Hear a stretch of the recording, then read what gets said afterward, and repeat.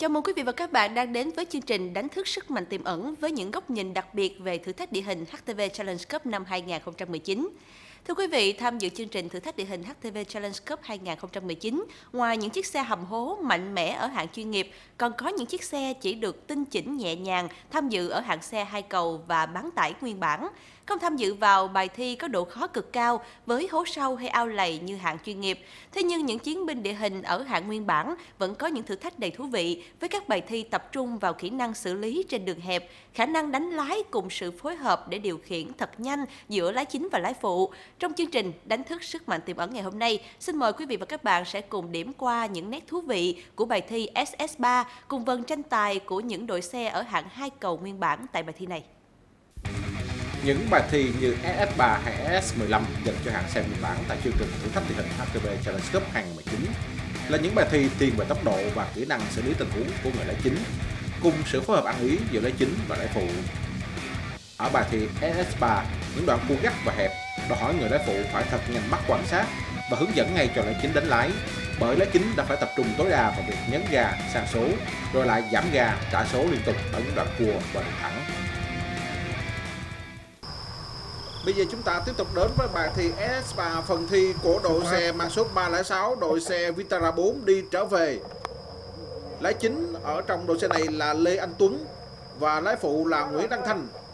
Họ đã xuất phát và ngay lập tức đưa được tốc độ lên rất cao. Kỹ năng xử lý của lá chính ở trong bài thi này phải được kết hợp với khả năng hướng dẫn của lái phụ người giữ vai trò quan sát và đây là một bài thi đòi hỏi các tay đua sẽ phải có sự phối hợp thật nhịp nhàng ở các động tác, nhả ga nhả số rồi vào số và tăng ga trở lại lái chính lên Tuấn và lái phụ Nguyễn Đăng Thanh ở trong bài thi này đã có sự phối hợp rất ăn ý với nhau và kỹ năng điều khiển tay lái bẻ cua qua những đoạn cua hẹp của lái chính Lê Anh Tuấn cũng là rất ấn tượng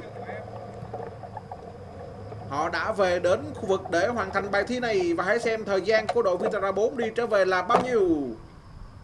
1 phút 28 giây 05% một thứ rất ấn tượng của đội xe 306 Vitara 4 đi trở về.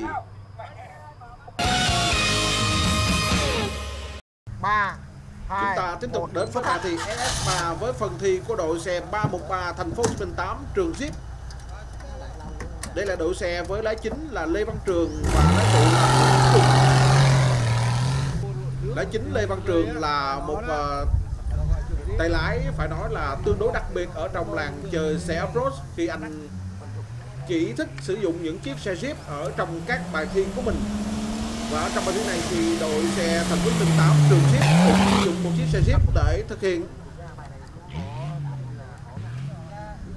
Đây là một tình huống mà anh Lê Văn Trường đã vào cua không thật sự tốt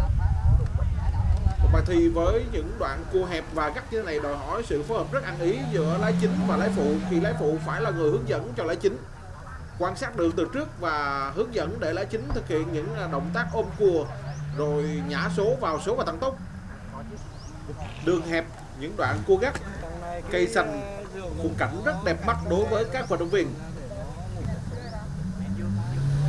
Như vậy là xe 33 của anh Lê Văn Trường và Nguyễn Đức Trường đã về đến khu vực để hoàn thành bài thi này. Và bây giờ thì lái chính Lê Văn Trường sẽ xuống bấm đồng hồ để xác nhận hoàn thành bài thi. Thời gian là 1 phút 50 giây 73 phần trăm. 150. Yeah. Quá chuẩn luôn Quý vị và các bạn thân mến, rõ ràng mỗi bài thi ở từng hạng xe tại chương trình HTV Challenge Cup 2019 đều có độ khó cao, nhưng không hề trùng lắp và đều là những thử thách đầy thú vị với những vận động viên tham gia. Trong những số tiếp theo của loạt chương trình đánh thức sức mạnh tiềm ẩn, chúng tôi sẽ tiếp tục mang đến cho quý vị những màn vượt thử thách địa hình đầy cuốn hút, những góc nhìn phân tích chuyên môn cũng như là những khoảnh khắc bên lề thú vị của HTV Challenge Cup 2019. Hẹn gặp lại quý vị và các bạn vào lúc 20 giờ 30 thứ hai, 3, 4, 5 hàng tuần trên kênh HTV7. Còn bây giờ thì Mai Anh xin kính chào tạm biệt và hẹn gặp lại.